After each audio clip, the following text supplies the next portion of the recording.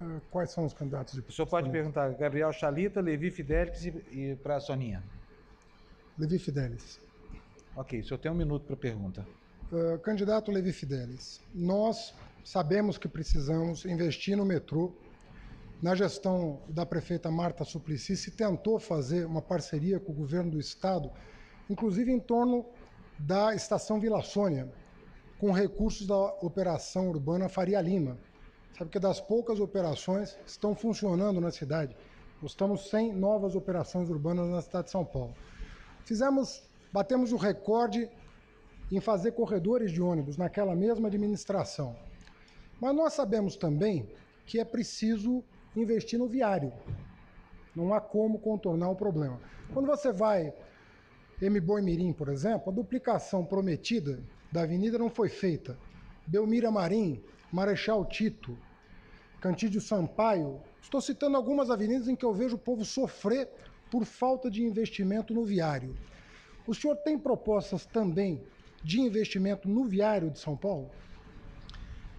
Haddad, São Paulo parece estar sendo tratado pelos candidatos aqui como se fosse uma casa da sogra, onde todo mundo entra, come o que quer, bebe o que quer e se esquece de uma coisa muito importante chamada orçamento.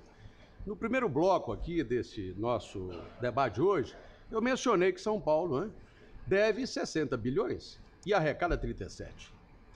Primeira preocupação minha, naturalmente, é ter dinheiro, ter recursos. Fundamental.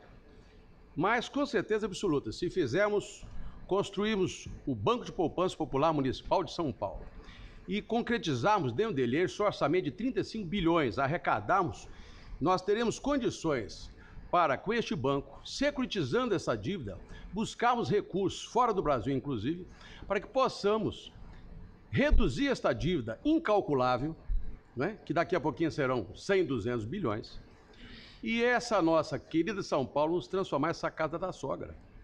É fundamental pensarmos isso. Então, você está certo. Eu vou sim, com recursos que eu vou obter com o lucro deste banco, que é fundamental que São Paulo tenha, investir sim nessa periferia fundamental, né? que tenhamos mais metrô, mais aerotrens e também e especialmente, né? tenhamos é, ruas mais asfaltadas, avenidas. A Mbomiri é fundamental, quanto tantas outras nas, na região leste, norte e sul. Um minuto e meio, o senhor tem para sua réplica, candidato Haddad.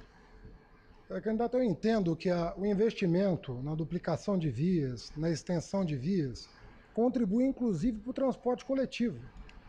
Se as vias não forem, algumas vias de São Paulo não forem duplicadas, você não tem como estender um corredor de ônibus, por exemplo, lá para o chamado fundão do Jardim Ângela, Horizonte Azul, onde as pessoas, para cobrir 7, 8 quilômetros, muitas vezes descem do ônibus para chegar a pé no terminal, que já está totalmente congestionado.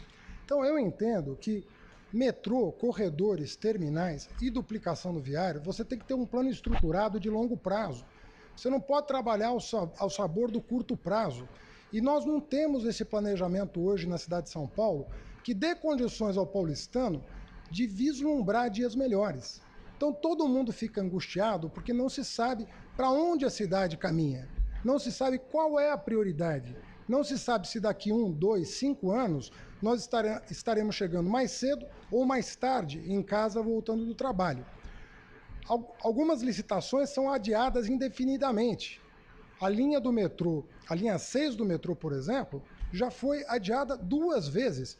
Nós já estamos prevendo a linha para 2019 quando a promessa original, se eu não estou enganado, foi, era de 2012 e de 2016 foi para 2019 em recente anúncio do governo do estado. O senhor tem um minuto para a sua tréplica. Haddad, nós temos em São Paulo cerca de 15 mil ônibus que transportam cerca de 900 milhões de pessoas a cada quadrimestre. Assim informa a prefeitura, ou seja, 3 bilhões de pessoas por ano e a prefeitura ainda tem que subsidiar.